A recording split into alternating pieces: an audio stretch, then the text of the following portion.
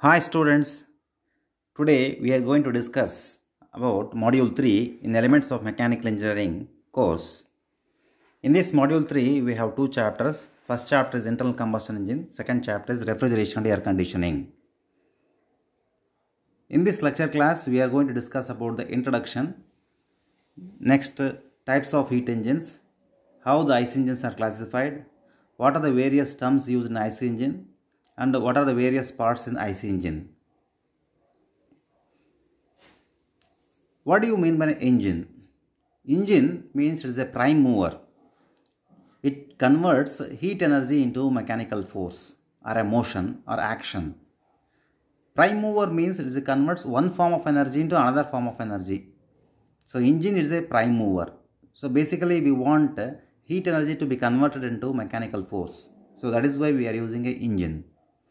A heat engine which converts a thermal energy into mechanical work is called a heat engine.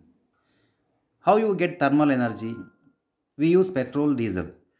So in petrol diesel we have chemical energy. That chemical energy is converted into thermal energy upon combustion process.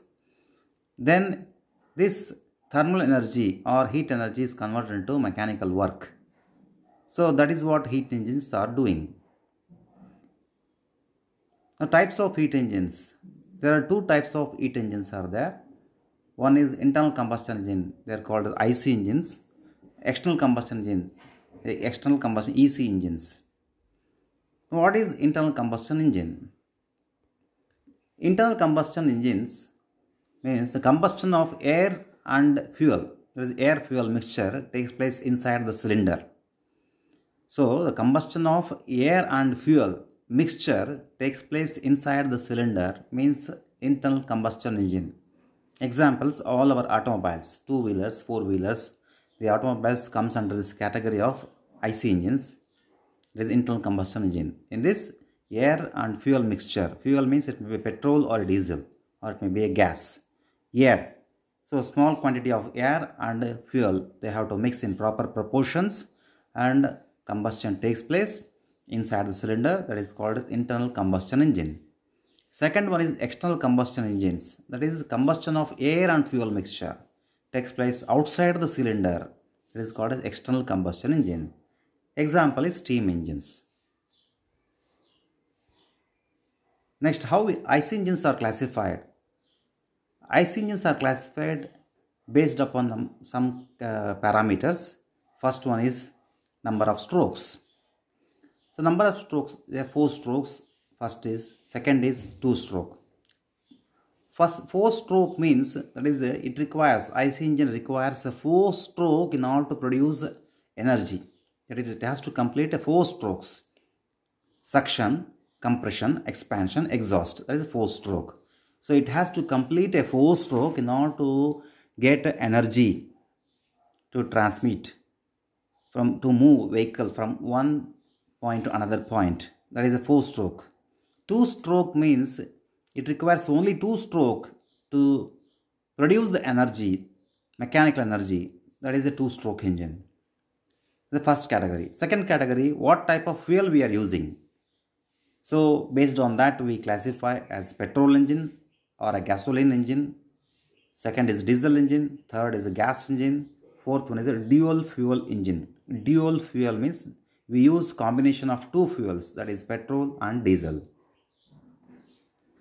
Third classification is based upon the working cycle. Is called as uh, first one is Otto cycle is a petrol engine is a diesel cycle second one. Third one is a dual combustion cycle. Otto cycle means a petrol engine. So this petrol engine is invented by Nicholas Otto so uh, the name petrol what we think is a the petrol means the name of a person who has invented that engine. It's Nicholas Otto. So Otto has given his name as Otto cycle. Second is a diesel cycle. Again, diesel is also a name of a person. Rudolf Diesel. He has invented that engine. So it's a diesel cycle. Third one is a dual combustion cycle. Uh, dual combustion means the cycle works on two uh, cycles, two combination of two cycles, is Otto cycle and diesel cycle. It's a dual combustion cycle.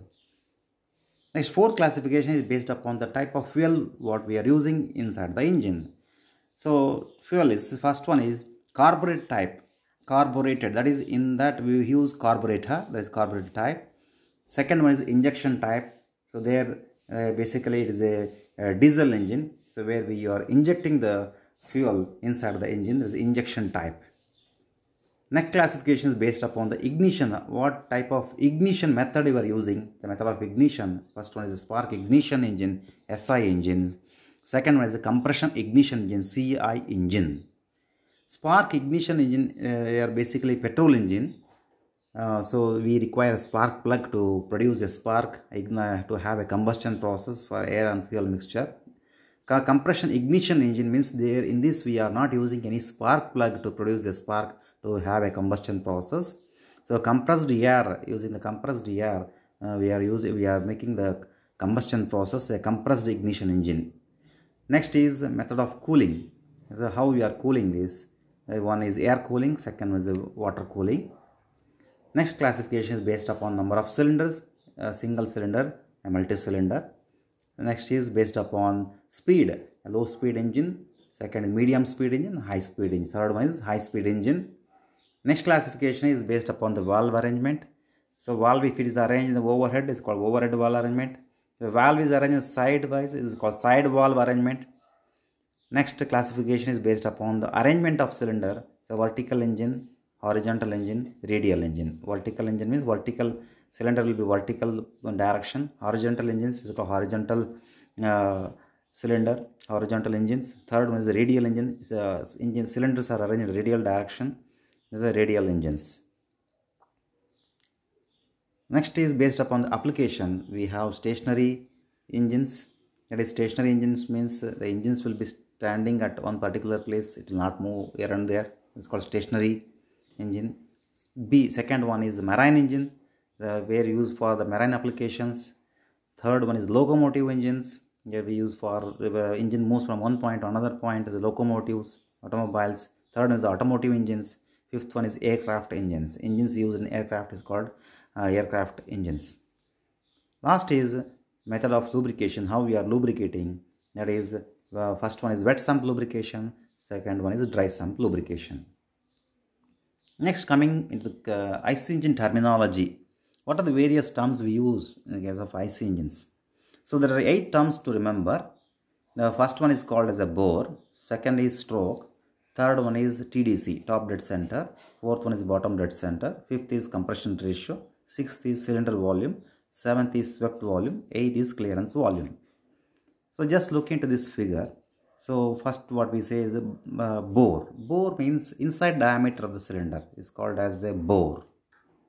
Whatever the diameter is there inside the cylinder that is called as a bore. Uh, so bore is inside diameter of the cylinder. Next uh, we have Next we have stroke. So stroke means the linear distance traveled by the piston from bottom dead center to the top dead center. It is called a stroke length or a stroke. How much distance it is going to travel. This piston is going to travel from bottom dead center to top dead center uh, in the case of uh, vertical engines. So if it is in the case of horizontal cylinder, horizontal axis cylinder, uh, inner dead center to outer dead center. As we say, we use words IDC is inner dead center and outer dead center ODC in the case of horizontal cylinder. So now we are seeing the figure the vertical uh, cylinder. So we you have to use the bottom dead center, top dead center. You can see BDC and TDC. So this is how the pistons traveled by the uh, the uh, from bottom dead center to the top dead center. That is called a stroke or a stroke length. So next we have TDC, top dead center. What do you mean by TDC? Top dead that is extreme portion at the top of a cylinder is called as a top dead center. Next we have bottom dead center. Uh, so bdc uh, is the extreme portion at the bottom of the cylinder is called as a bdc bottom dead center. Next we have uh, the compression ratio. So what is compression ratio? Compression ratio means maximum is the ratio of maximum volume of the cylinder to the minimum volume of the cylinder. That is called as compression ratio. Maximum cylinder volume divided by minimum cylinder volume is compression ratio. The maximum cylinder, when it will be a maximum cylinder volume? when the piston is at the bottom dead center so it will be a maximum cylinder volume when the piston is at the top dead center it will be a minimum cylinder volume so maximum cylinder volume divided by the minimum cylinder volume will give you the compression ratio okay? Next is cylinder volume. What is the cylinder volume? Cylinder volume means it is sum of swept volume and the clearance volume. What do you mean by swept volume? Swept volume means it is the volume of space generated by the movement of piston. Movement of that is when the piston moves or when the piston sweeps.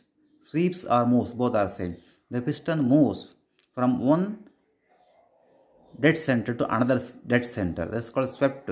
It sweeps piston is sweeping inside the cylinder. So the volume of the space generated by the movement of the piston from one dead center to the another dead center is called as swept volume.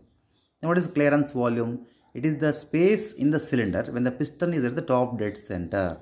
It is called as a clearance volume. Okay i'll repeat. It is the space in the cylinder when the piston is at the top dead center okay so this is the uh, these are the various uh, terms we use in the IC engine. So first one is the bore. Bore is the inside diameter of the cylinder. It's called a bore. Stroke means the linear distance traveled by the piston in the cylinder between the extreme uh, portions that is top dead center and the bottom dead center. Uh, top dead center means it's extreme portion of the cylinder on the top. Bottom dead center is the extreme portion of the cylinder on the bottom. Uh, so again I told you that uh, the, in the case of horizontal cylinder uh, the uh, horizontal cylinder we have inner dead center and outer dead center next compression ratio it is the ratio of maximum cylinder volume to the minimum cylinder volume next cylinder volume it is the sum of swept volume and the clearance volume Next is swept volume. What is swept volume? It is volume of space generated by the movement of piston from one dead center to another dead center. Next clearance volume. It is the space in the cylinder. The piston is at the top dead center. So these are the various terms we use in the IC engine.